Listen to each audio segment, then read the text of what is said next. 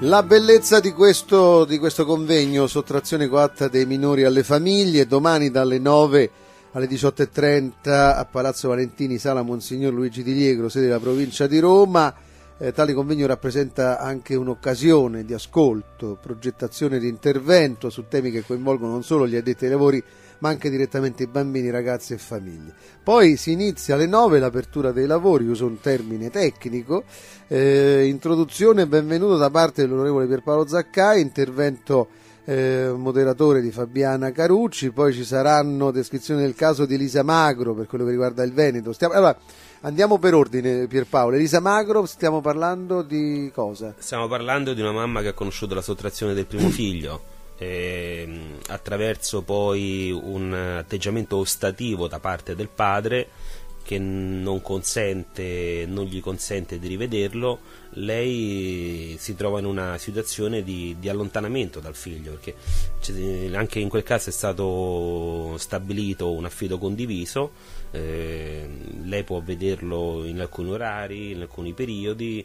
il padre però utilizza questo atteggiamento ostativo di ostacolo eh, e quindi non, eh, non, gli consente appunto di, di, di, poterlo rivedere. I servizi sociali non intervengono in modo adeguato e quindi non intervengono per sanare questo conflitto che si protrae nel tempo. Poi abbiamo Clara Lazzaro dalla Lombardia. Sì, Clara Lazzaro è un medico oculista della città di Milano. Anche lei ha, sta vivendo questo caso di, di, sottrazione del minore in seguito ad un conflitto familiare, eh, l'hanno danneggiata particolarmente perché hanno tentato di descriverla come persona delirante, inaffidabile, Clara Lazzaro è un oculista, eh, fa visite mediche tutti i giorni, interviene con chirurgia, eh, sì, i, sì. i pazienti si rivolgono a lei e ottengono benefici. Ieri l'ho chiamata, gli ho telefonato, stava proprio visitando un paziente, è contenta di venire a Roma e di esporre il suo caso in un convegno nazionale. Poi ci sono tanti altri casi. Saverio Sarcina della Puglia, un caso no? eclatante, le due gemelline gli hanno sottratto Aurora e Federica in primissima età evolutiva. Le bambine stanno vivendo senza il papà, Saverio si è incatenato di fronte al Tribunale per i minorenni, minorenni di Bari per oltre due mesi, due mesi incatenato di fronte a un tribunale, andai a Bari nel periodo in cui si era incatenato a portare solidarietà. Eh, abbiamo ottenuto successo sulla stampa pugliese, la Gazzetta del, mezzo, del Mezzogiorno ha pubblicato il nostro intervento, l'intervento di Tela Garantista, ha pubblicato la storia di questo uomo che sta lottando per rivedere le gemelline in primissima età evolutiva, deprivate della figura paterna. Poi ci sono tutti gli altri casi, ricordo anche Sabrina Paoni che fu nostro ospite, poi alle, 20, alle 10.20 presentazione dei libri sui minori, eh, Cerasella Cica e Andrea Valabro, poi abbiamo l'intervento dell'onorevole Franco Laratta, deputato PD, intervento dell'onorevole Franco Cardiello PDL, tra l'altro è il promotore, il presentatore della legge, giusto? Dell'interrogativo? Sì, sì, sì, ehm, il senatore Franco Cardiello del PDL ha presentato un disegno di legge in materia di abolizione, di soppressione del Tribunale dei minori e di ridimensionamento dei poteri conferiti ai servizi sociali comunali e di istituzione della, del contraddittorio, perché eh, per i casi dei minori sottratti non esiste il contraddittorio, quindi non esistono le garanzie del diritto di difesa per quanto riguarda i familiari nel momento in cui eh, si trovano di fronte all'allontanamento del proprio figlio. Michaela, la volta scorsa ci parlasti della tua storia, se, correggimi se sbaglio, ci diamo del tu, eh, una storia personale che, alla quale hai posto anche una condizione reattiva che ti ha permesso di coinvolgerti e di dispensare attraverso la tua esperienza e il tuo dolore, dispensarti per gli altri. Insomma, cerchi anche di aiutare gli altri attraverso questa tua esperienza personale.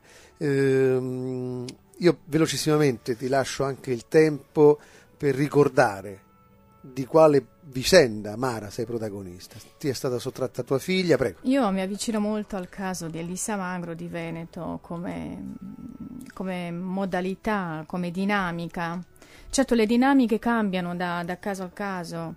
Eh, il mio è ancora più complesso in quanto prima ancora di avere sottratta mia figlia, ehm, certo con la, con la partecipazione del padre che in questo caso da un anno e mezzo, quasi due, è diventato il, eh, non il tutore perché io non ho perso la potestà, ma il collocatario no, di mia figlia in base a delle accuse assurde che mi sono state portate, di, di, di, di puerili, no? non si può accusare una madre di essere sporca, di mandare la figlia a scuola, eh, oppure di abbandono quando la manda a fare magari con un'altra mamma eh, delle, delle, ore per, per, approfondire la matematica o altre materie e essere accusata di abbandono. Perciò per, per, poter, per poter, approfondire ancora di più dov- dovrei iniziare già dall'inizio del discorso. Io, Io sono una, sì. una cittadina rumena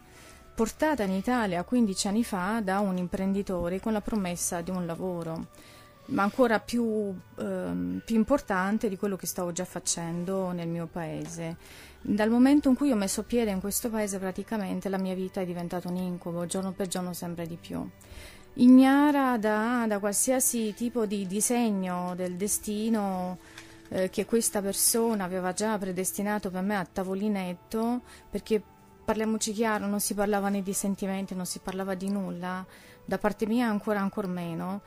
Eh, la mia vicenda rientra tra maltrattamenti delle donne, tra la mancanza di una copertura giuridica, malgrado si parli tanto di denunce che le donne dovrebbero fare, io dal mio, dalla mia esperienza che ho avuto posso dire che spesso, quasi sempre, le donne dopo le denunce si trovano abbandonate a se stesse, lasciate da sole, perciò copertura legale quasi inesistente, anche perché oltre le denunce dovrebbe essere messo in atto un procedimento penale che garantiscano alle donne la possibilità di vita, di vita dopo eh, determinate azioni e la garanzia di essere tutelate e difese. Questo fatto non avviene quasi mai.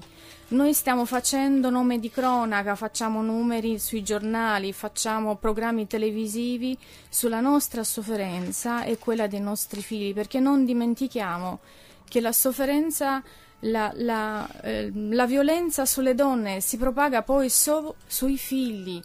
È inutile pensare che una persona che abusa di una donna può essere poi in seguito un padre eh, modello, un padre che possa essere collaborativo nel caso in cui ci siano delle separazioni. Allora, io ti interrompo mm, perché molte persone la volta scorsa non avevano, non si erano sintonizzati per tempo, non riuscivano a capire la storia di Michela Popa.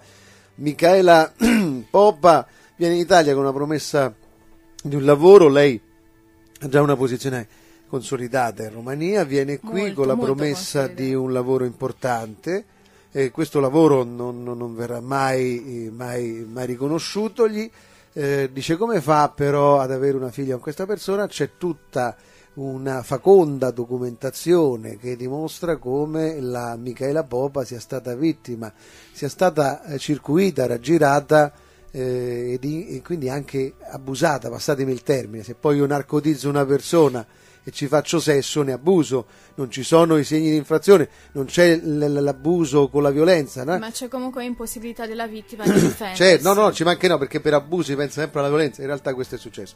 Da uno di questi rapporti è nato questo frutto che lei considera un dono di Dio e considera comunque a tutti gli effetti sua figlia ed è comunque un aspetto che coglie la mia e credo la solidarietà di molti di voi. Grazie. Mm, prima di andare in pubblicità, voglio chiedere a Pierpaolo, un bambino che va a scuola sporco viene, cioè la famiglia può essere contestata, può essere richiamata. Se può... dovesse andare sporco. Se, no, no, no, no, perché io conosco, aspetta, no, no, no, guarda, se, se, tu, se tu sei questa, tua figlia è pulita, cioè sei pulita, tua figlia è pulita, non è questo il problema.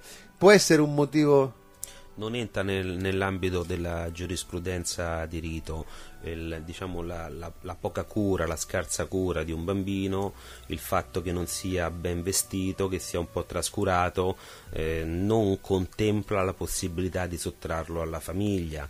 Ci sono, eh, centinaia di migliaia purtroppo di bambini trascurati nell'abbigliamento, nella cura Ah. di se stessi a causa di una povertà familiare, in altri casi a causa di trascuratezza, poca attenzione da parte dei genitori. Ma la povertà non è un elemento, una condizione che giurisprudenzialmente consente la sottrazione di un bambino. Abbiamo un caso eh, nelle Marche eh, mediante il quale attraverso un decreto del sindaco su segnalazione dei servizi sociali è stato sottratto un bambino, Thomas, alla mamma perché dicevano che era trascurato nell'abbigliamento e che era poco ben vestito. Sono casi assurdi questi, questa è una- quella è stata un'altra violenza. Si- I servizi sociali dovrebbero intervenire consultando la madre e cercare di educare e di insegnare ad avere cura maggiore verso il figlio, capire che cosa c'è, che cosa è accaduto, perché il figlio è un po' trasandato nell'abbigliamento, se ci sono problemi economici, problemi di altro genere o se la madre è disattenta, ma bisogna intervenire all'interno del nucleo familiare per cercare di ricomporre un equilibrio familiare e consentire all'adolescente al bambino di stare con i suoi genitori perché ha bisogno dei genitori, non ha bisogno di una casa famiglia, non ha bisogno di essere strappato via, allontanato e di vivere questi traumi indelebili che porterà nella sua personalità in futuro in età adulta. Impongono sempre un... Impongono, impongono. No, no, dico, ma l'imposizione è anche nel richiamo di un codice rigido, no? Ci mancherebbe, il bambino deve essere accudito, seguito. Poi in questo paese permettiamo ad altri genitori di fare dei bambini degli espedienti criminali.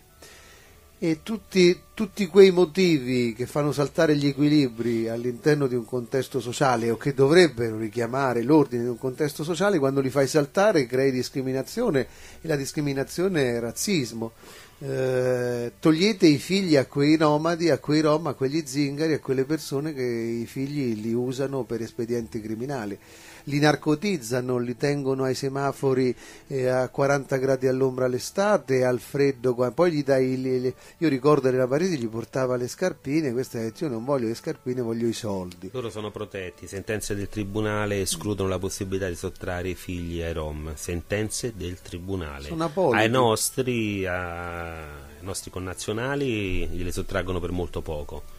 Eh, per- nel caso dei Rom non, non- non si dà corso a nessun tipo di sottrazione coatta.